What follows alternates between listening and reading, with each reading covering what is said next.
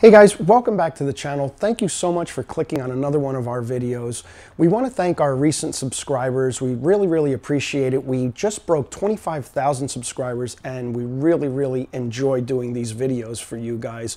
We especially want to thank our subscribers who have been with us from the beginning. Guys, thank you so much for making the channel what it is today. We also want to thank you guys for listening to our podcast on Pet Life Radio. It's called Groomer Humor. We're going to leave that link down below in the description. So in this video, we're featuring our beautiful little Lhasa Apso named Daisy. Daisy came in with a pretty severe mat in her left ear. I'm going to show you a trick and a technique that splices through that mat using a 10 blade and a clipper with virtually no pulling, no discomfort to the dog, and it's going to leave a finish as if the mat wasn't even there. We're also going to show you a full face prep, clipping out under her eyes, start to finish. So please check out this video. Okay guys, so here's our beautiful Lhasa Apso Daisy. As mentioned, we are going to be working on her head, face prep, start to finish, paying particular attention to her ears. Uh, her left ear is pretty severely matted. So like we said in the intro, we're going to be showing you how we demat an ear with uh, virtually no tugging or discomfort to the dog using our 10 blade and our clipper. Rather than a mat splitter, guys, we don't like using mat splitters. They're dangerous, they hurt the dog. Uh, but as you can see here, she's got this really bad mat in her ear. Um, if left undone, it will just get worse and worse. So we're kind of separating it, uh, identifying where it is exactly. Um, this isn't really too, too bad, dogs come to us a lot more matted than this. Uh, but again, we're just going to show how we can um, clip this mat out using our 10 blade. Okay, so I'm holding the clipper here sideways and just kind of splicing through the mat little by little. You don't want to clip the entire mat out because then it's just going to be a big bald spot in that area. There's a 10 blade. This is a ceramic 10 blade. Uh, anybody who grooms their dog, either professionally or at home, you need a 10 blade. It's going to make up for about a good 75% of everything you do on a dog. Again, just holding this blade sideways and kind of cutting through that mat until I can loosen it up enough where I can pull it away from her ear. I'm supporting her ear here the entire time with my left hand, but there's your culprit. Or at least a part of the culprit. Okay, so there's definitely more to be done here, so I'm kind of just pulling it apart, separating it, um, just so that I can get that clipper through it again a little bit better. And again, guys, using this technique is, is just no discomfort to the dog, and that's why I like using the clipper and the 10 blade. So uh, once you've pieced it out, you can go ahead and start using your slicker brush.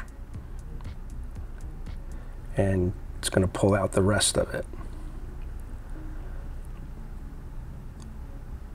Again, notice how I'm just supporting her ear with my left hand.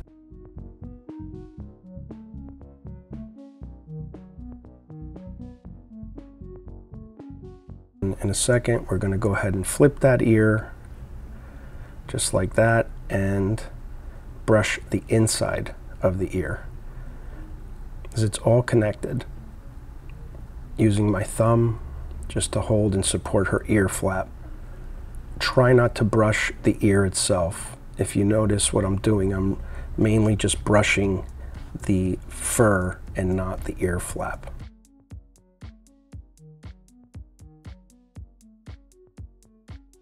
Now we're using our comb. We have a double-edged comb. I'm using the wide edge first, and then I'm just going to go through it with the finer tooth.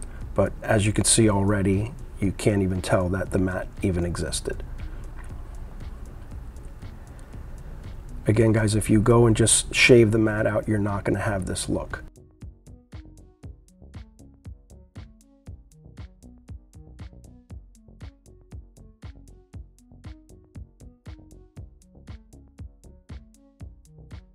Her right ear wasn't nearly as bad, so I'm just going uh, straight at it with the slicker brush. There's really no need to be splicing through a mat because it wasn't matted, although it wasn't very knotted.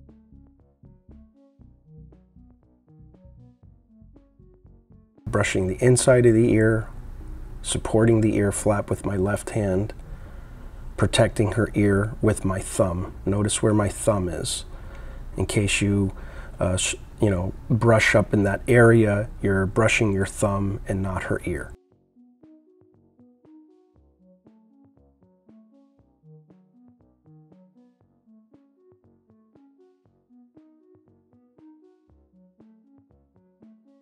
So once you get through this point, you really want to kind of feel the brush. You can hear the brush. If you, if you hear that pulling sound, that scratching sound, you know there's a little bit more. So right here, I'm going through with the comb and I can feel there's still some knotting. So go back at it with the brush. You don't want to yank on her with the comb. It's way too painful. This, this video is just minimal, if any, discomfort to the dog. Now that comb just went right through. Just going over her ears, making sure that there's no more snag, snags or mats in them. Good girl, Daisy. What a baby. Give them little breaks and praise them a lot, guys. This is really tough for them. Daisy's not particularly crazy about her face being brushed, as most Lhasas and Shih Tzus are. They, they're not crazy about it. So um, I'm kind of doing my best to just support her face and, you know, do a quick job. Notice how I'm just placing the brush. Don't just brush wildly. Place the brush and, and brush. Good girl, Daisy. What a baby. Okay guys, so now it's under the eyes here. After giving Daisy about a three minute break, we um, wanted to get this gook out from under her eyes. So again, we're gonna go back to that 10 blade and just do a quick clip under the eyes. And I know, you know, we've gotten comments in the past that, you know, you should never use clippers around the dog's eyes. Guys, listen, that's like telling a surgeon not to use a scalpel during surgery. We do this all the time. If you're not comfortable, if you're not a professional at it, then of course, yeah, don't take this risk, but we do this all the time. And it's quick and it's easy. Get that gook out. She, she loves how it feels. Good girl. Oh. What? Funny Daisy. Daisy, you have funny ears. Okay, guys, so after a really good bath, uh, we got her on the, on the blow drying table, and this is just gonna really hammer home uh, getting all those knots and mats out, and it's gonna just give her that really smooth, smooth look kind of just using a brush technique here to, to get through each strand of hair. You can do this, just have to be careful with this, don't pull. Just place the brush, let the air hit it. Just like that. It's going to separate the hair and just dry it up quicker and it's going to come out fluffier by doing this. This is called a fluff dry. there you have it again, guys. You can can't see where that mat was at all. It just looks natural.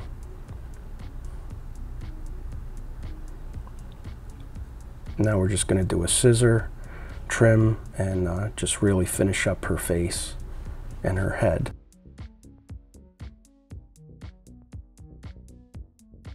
So if you want that natural look, guys, just use this technique. Again, just hold those clippers sideways, splice through it, and separate the mat.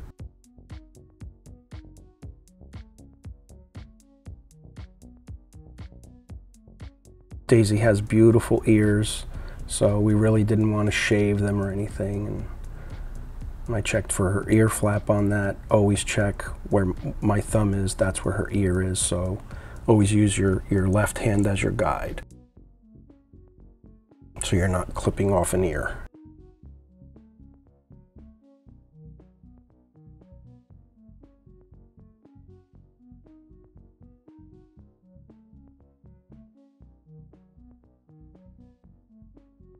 I'm using uh, Geib seven and a half inch shears here. Uh, they're curved shears. I like using curved shears so you get that nice round look whenever you're scissoring up a face. You could see how cute Daisy's already coming out.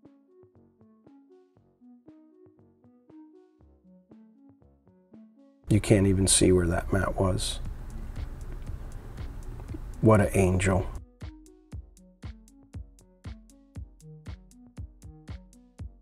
There you go. Guys, you can achieve this at home if you want. Just use this technique, um, you know, and practice. Just keep practicing. There's that ear again. You can't see anything. Perfect.